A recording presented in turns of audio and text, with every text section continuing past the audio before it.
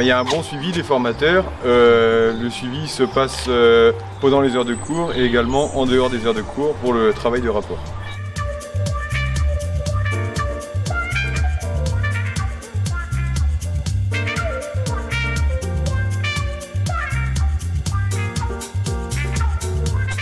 Donc entre chaque séquence, entre l'alternance et la présence en cours, il y a un travail à effectuer et il est ensuite corrigé, noté par les formateurs.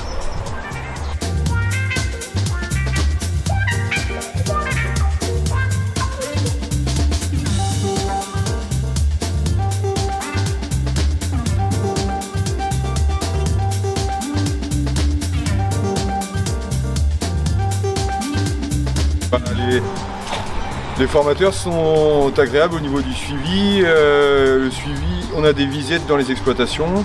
Euh, donc comme ça, ils peuvent découvrir aussi euh, comment ça se passe chez nos patrons.